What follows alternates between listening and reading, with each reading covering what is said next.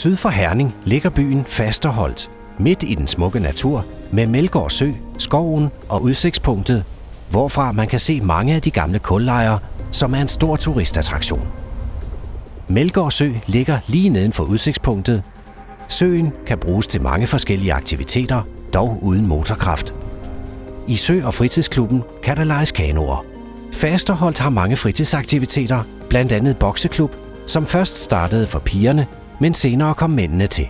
Vi har en hyggeklub for ældre, spejder for børnene, dartforening med videre.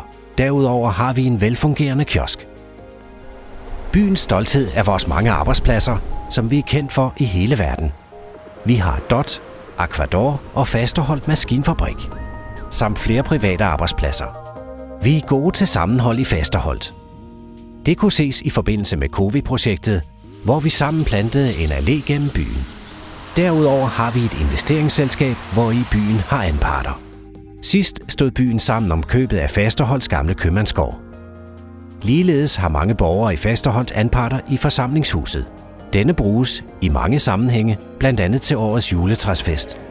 Derudover er der uofficiel konkurrence omkring juleudsmykning blandt byens borgere. Vi har en god og velfungerende landsby, som vi gerne vil dele med nye tilflyttere.